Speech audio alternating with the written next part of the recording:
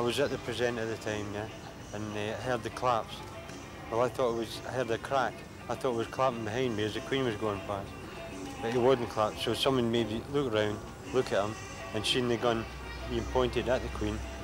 So uh, I was, went towards him, like, and then the crowd sort of closed in on the person with the weapon, and he came towards the, the fence. So I grabbed him by the hair, pulled him, and uh, we got him over the fence, and that was as far as, far as it went. When the Queen came by, you know, in the corner, he just stepped backwards, you know, took about a half step backwards, and uh, raised it up in his right hand, and then, uh, you know, held it, police marksman style, and fired about four or five shots. Then what happened? Then there was, you know, like I said, about three of us that came in from his right and behind, you know, and got him over the railing into the street itself. And then the constables came and took him. Had you noticed him earlier?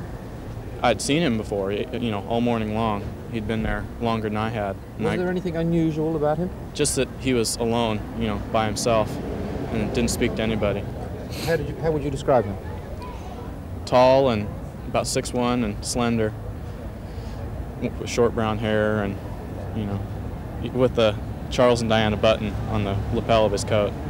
Yes, I was walking up from uh, Buckingham Palace, keeping a pace with Her Majesty, who I could see over the heads of the crowd.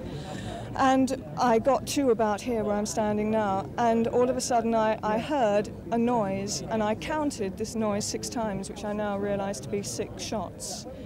Um, her Majesty seemed very, very scared. I saw a look of sort of fear pass over her face.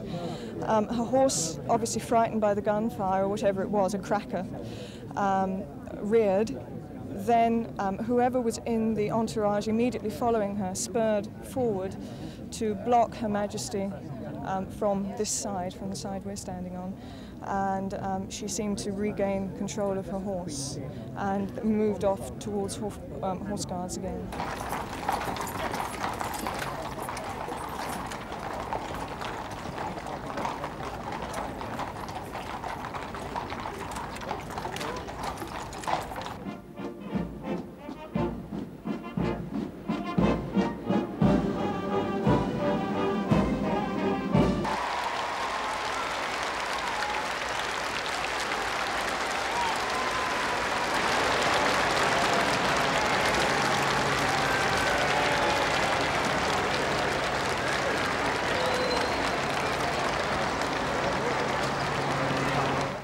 At 10 to 4, a Scotland Yard spokesman came out of Cannon Row police station and said that 17-year-old Marcus Simon Sarjeant, an unemployed youth from Folkestone in Kent, had been charged in connection with this morning's events.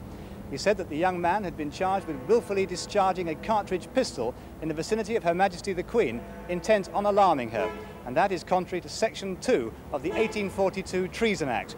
Now, it's thought that this act has only been invoked once before, and that was in the 1930s in an incident with the Duke of Windsor on Constitution Hill. Sarjeant has not been allowed bail and will appear at Bow Street Court on Monday.